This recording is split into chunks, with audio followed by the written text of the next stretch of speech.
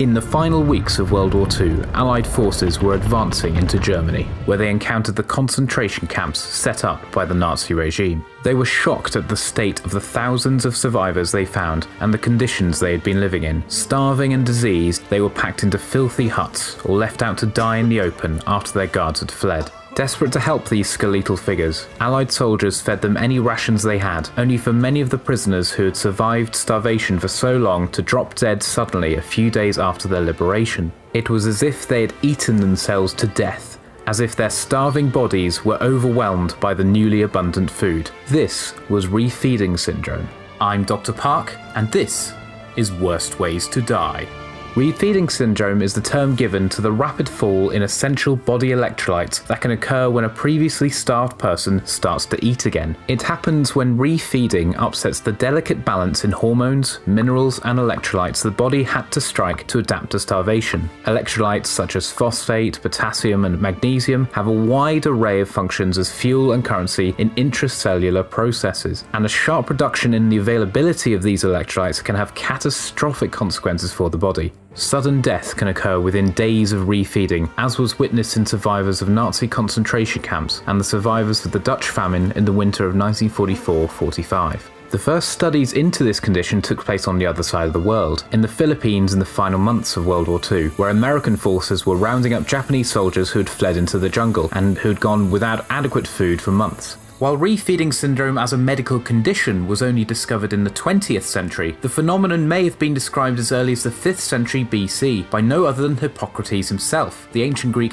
father of medicine. The Jewish Roman historian Josephus also seems to note it in survivors of the siege of Jerusalem in 70 AD. The condition today is mainly seen in frail hospital inpatients and in sufferers of anorexia nervosa, whose nutritional needs and electrolyte levels need to be monitored closely when building up to a normal diet after months of self starvation. But how does refeeding syndrome occur? Well, I'm afraid, dear viewer, you're going to have to endure some back of a fag packet physiology from me for the next few minutes. The main fuel for all processes that go on in the body is glucose, and the body needs to maintain a certain level of glucose in the bloodstream in order to survive. In normal conditions, the body obtains glucose primarily from staple carbohydrates like bread, rice, potatoes.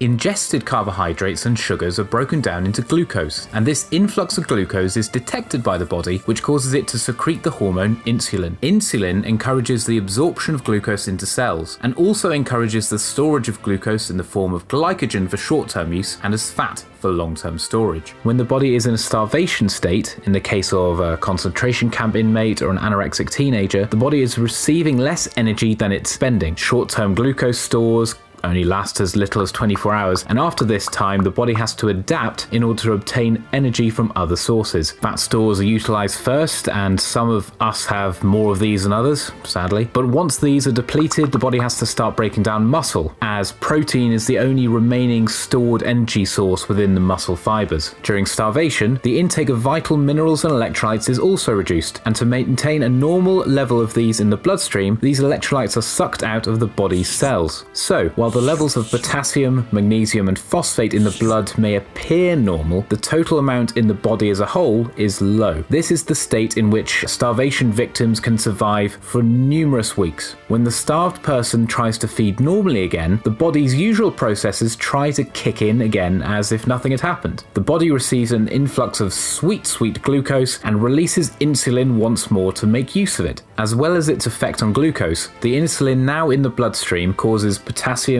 magnesium, and phosphate ions to be hoovered up by the body cells which had, in the starvation state, been depleted of these electrolytes. However, this now means that the blood levels of these ions drop rapidly, and other organs end up being deprived of these vital electrolytes, causing the symptoms of refeeding syndrome. These symptoms are varied, unpredictable, and can occur without warning. Low phosphate levels, big science word for this is hypophosphatemia, is the most prominent feature of refeeding syndrome. Lack of phosphate impairs the ability of cells to process glucose into energy and thereby making these cells dysfunction. And these dysfunctional cells can manifest themselves in a wide variety of symptoms. Hypophosphatemia can cause muscle cells to break down or become dysfunctional in general, causing muscle weakness. The heart itself is, of course, a muscle, and if the cardiac muscle function is impaired, big word for this is cardiomyopathy, the heart's ability to pump blood around the body will be reduced and ultimately result in heart failure.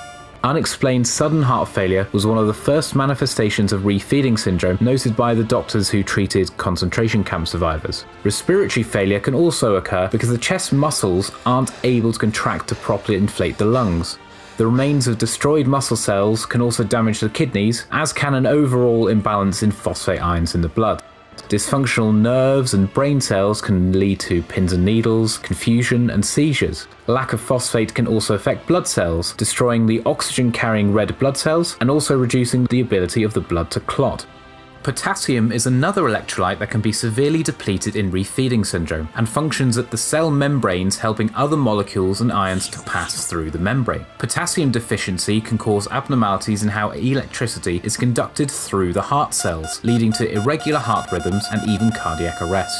It can cause vomiting and diarrhea, or conversely, lead to the intestinal muscles to become paralyzed, and this can cause constipation.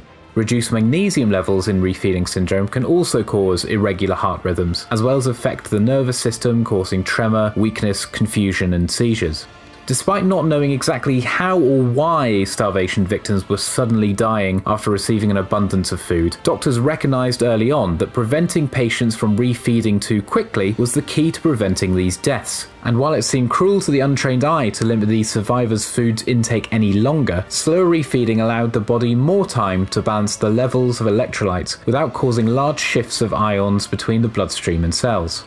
Today, we prevent refeeding syndrome by replacing phosphate, potassium, and magnesium through tablets or through intravenous solutions. This is done alongside carefully monitored nutrition, with patients initially only being fed 6 to 800 calories per day before increasing this over the course of a week or so. The patients that I have treated who have been deemed at risk of refeeding syndrome have mostly been elderly patients who required intravenous feeding due to malnutrition or to swallowing problems. But we also tragically had an anorexic university university student who, for the past several weeks, had been surviving on just one packet of crisps a day.